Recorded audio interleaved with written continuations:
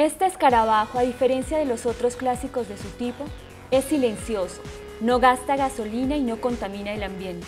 ¿Por qué? La empresa EPCO lo transformó en un carro eléctrico. Ok, bueno, escogimos este escarabajo modelo 66. Eh, le introdujimos un em, motor de 40 caballos a 72 voltios y en estos momentos nos está dando una autonomía de 90 a 100 kilómetros eh, por carga. Eh, nos ha ido muy bien con el carro, se puede cargar en cualquier parte. es muy interesante porque es muy llamativo.